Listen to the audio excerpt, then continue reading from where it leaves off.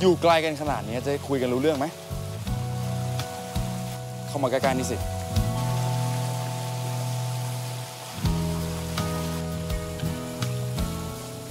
ใกล้กว่านี้ก็ได้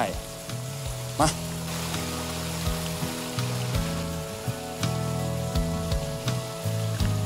ว่ามา หม่อมฉันมาทูลลาเพคะ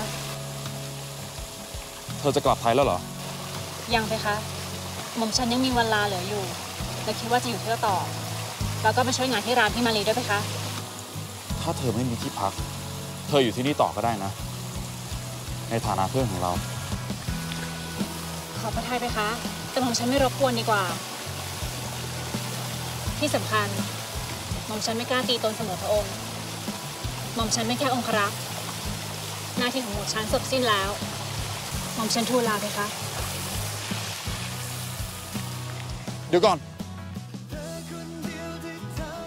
ไม่ว่าเราจะอยู่ในฐานะเจ้าชาย หรือคนธรรมดา เธอคือเพื่อนเราเสมอนะแพน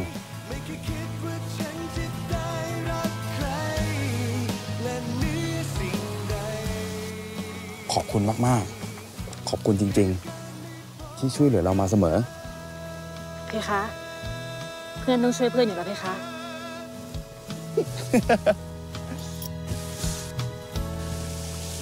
ถ้าเรามีเวลาว่าง เราจะไปเยี่ยมเธอบ่อยๆนะ แพน เดินทางดีๆนะ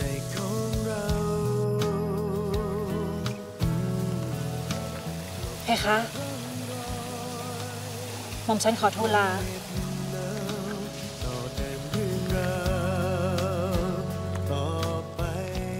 แล้วเราต้องเจอกันอีกนะแพน